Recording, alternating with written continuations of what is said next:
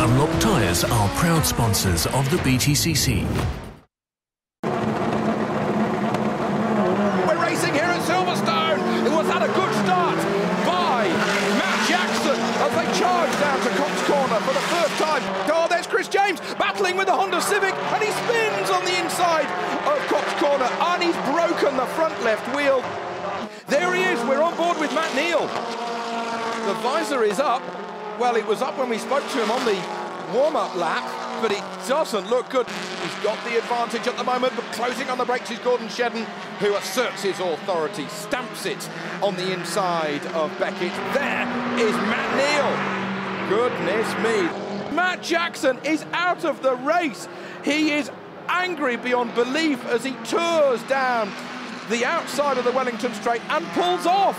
I've never seen that this year qualifying yesterday with an all-new British Touring Car lap record around this Silverstone 1.6 mile circuit. He accelerates through Woodcote here at Silverstone to take his fifth victory of the season.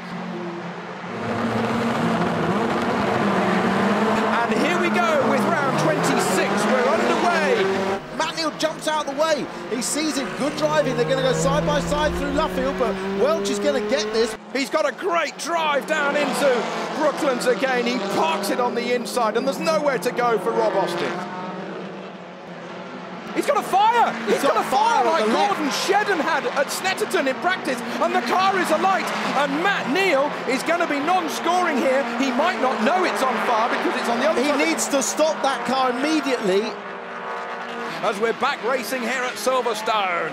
Jason Plato leads over the line from Rob Collard, from Dave Newsham, from Aaron Smith, from Matt Jackson. The 99 car that was leading has, has, has, has, is rolling. I think he might be picking it up. He's going so slowly. Matt Jackson now leads the race. What a fantastically controlled drive by Matt Jackson. He started 17th and he wins. We're getting ready for our third and final race here at Silverstone. We've got Foster on the pole position from Andrew Jordan, Daniel Welch and Gordon Shedden on the second row of the grid. Look at that lead. Shedden's up a position already. He's third. That's Matt Neal. It is Matt Neal. Matt Neal non-scoring here today in all three races. Goes one way, then the other. Will be able to cut it back. There's a carbon copy tip. Yeah, he's got that move down absolutely off pat now to get across the inside of the curve at Luffield, get the nose of the car inside. But, I mean, this the way he's driven to the front of this race has been exemplary. Jackson goes through ahead of Foster. He's managed to do it. Up to second place. Plato is already over the line. His lead now ahead of Matt Jackson. Four full seconds. Jason Plato, what a drive. 20th position on the grid. He comes through to dominate here. Well, Gordon, you had a three-point lead coming into this weekend. That lead is now 15 points. So on paper it looks good, but it has been slightly frustrating at times, hasn't it? Yeah, you know, on, on paper it's an increase in the lead of the championship, which is fantastic going to the last rounds. But in reality, it's been a very tough weekend. I think uh, you know the straight line performance of our car has been non-existent, and um, I don't think I've I've raced three touring car races looking in my mirrors as much in my life. It was. Uh, as a racing driver, you want to race to go forward and to, to improve. And today, I've raced not to go backwards, which is a kind of strange state of affairs to be in. What do you think the situation is going to be in that respect when we get to Brands Hatch? Well, there's going to be a few boost, uh, I think, differences for Brands Hatch. I think uh, you know some cars, you know, hopefully we get a bit of an increase, other cars will come down. Maybe that makes it a little bit, uh, you know, a, a little bit closer in terms of, uh, of straight line speed. And I think the Brands GP circuit will really suit the Civic. You know, we've always said the chassis is absolutely top notch. And three, you know, three straights and four corners around Silverstone, we haven't really been able to exploit our strengths. So, you know, I'm sure it's going to be a fantastic last, uh, you know, event of the championship. All to play for. You know, three of us in it. it uh, it's going to be, it's going to be tough. It's going to be tense, and, and it's going to be exciting. Well, let's bring in Jason Plato here. He's going to be one of the men that you're, you're battling against. Jason, currently you've moved up to second in the championship. It's been a good weekend here at, uh, at Silverstone for you, hasn't it? It's been a great weekend, you know. Of course, you, you know, you're always going to look back at race two and think what could have been. But that's motor racing, you know, sometimes things go wrong. The main thing with us is we're, we're ahead of schedule. This was meant to be a development learning year with the new MG6 uh, in readiness for to mount a full campaign for next year. But, you know, the su- summer break was kind to us. We learned a lot about the car. And I think um, Rockingham in the dry that was a clear intent of what we've managed to achieve with it. You know, we've got a great ch- chassis now in the dry, and uh, and we've you know it's, it's working really well. And, and, and each step now we're making each race we're making small ch- changes, and I'm, I can exploit those. Whereas earlier on in the year we couldn't, we just weren't in the window. So I've got a fantastic car underneath me.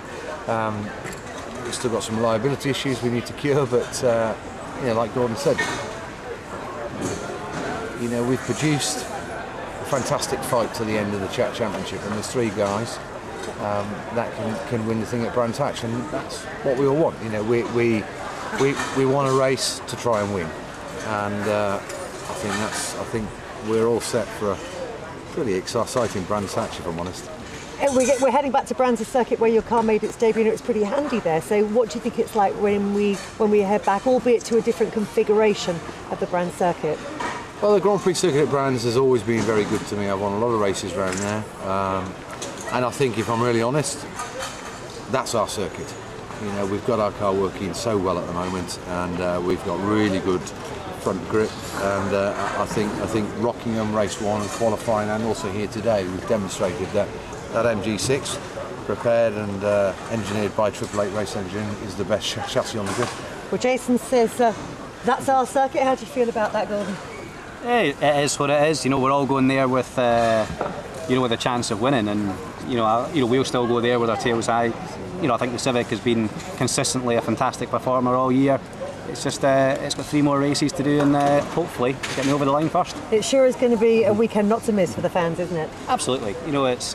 I'm so glad that it's actually the, the GP circuit and not the Indy circuit because I think it's a much better circuit all round for, for everything. And uh, yeah, I think it, it's going to be exciting. I think you know it's been exciting all year. We've seen lots of different cars, lots of different drivers win races. Uh, crunch time now, though, isn't it? It's all good.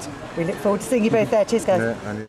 Join us on ITV4 for the climax of the 2012 British Touring Car Championship. You can watch live qualifying at itv.com slash touring cars. That will be coming to you at 2.50pm on Saturday the 20th of October. Then it's over to ITV4 and ITV4 HD on Sunday the 21st from 10.30am as we bring you extended build-up to the decisive day around the Brands Hatch Grand Prix circuit. To purchase tickets for the event, you can visit www.brandshatch.co.uk. We'll see you there.